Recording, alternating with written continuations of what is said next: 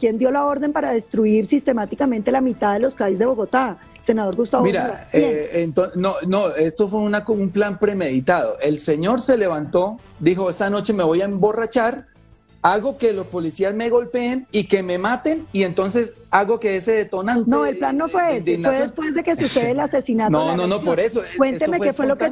Nosotros estábamos incluso en la plenaria cuando eh, empezaron todas estas cosas. Su jefe Gustavo Petro, ¿por qué no, nos, por qué no hablamos de eso? Sí, Gustavo Petro no escribe a la manifestación. No, Gustavo Petro lo que evitó fue una masacre peor. Porque si Gustavo Petro ah, no mire, pone los videos.